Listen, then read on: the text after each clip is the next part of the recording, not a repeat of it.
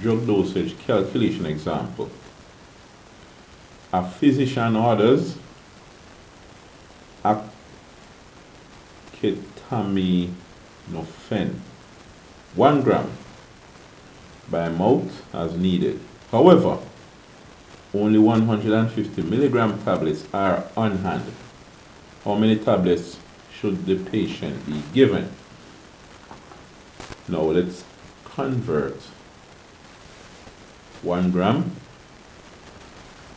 And from our metric knowledge of metric table you should know it mentally without looking at the table.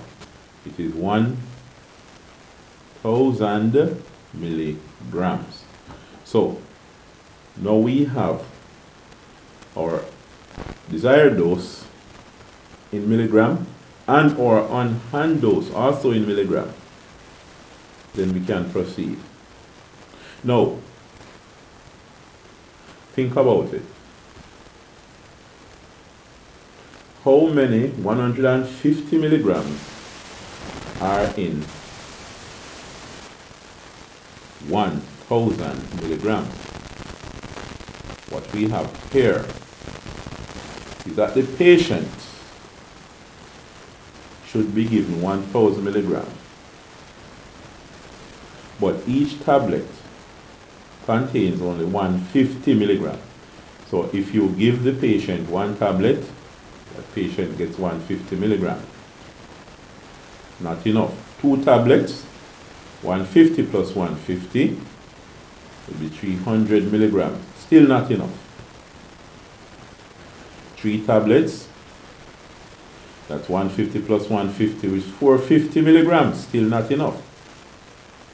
Instead of keeping that going, we have a division to do. 1,000 divided by 150. 10 into a 1,000 is 100, 10 into 150 is 15. 5 into 100, 20. 5 into 15, 3. 20 divided by 3. Alright?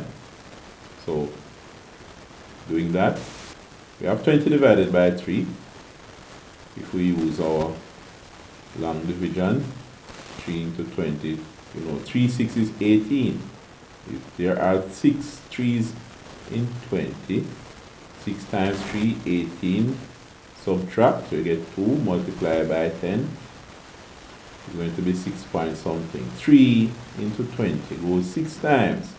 6 3 is 18. So it's going to be 6.6 repeated. So that means there are 6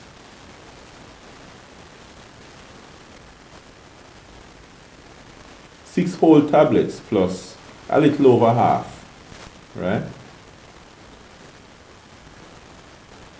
Plus a little more and half. So you can call it six and a half tablet. 6.6 would be six and a half, but I mean 6.5 would be six and a half exactly. So it's quite close. All right, so that is our um, example for this video.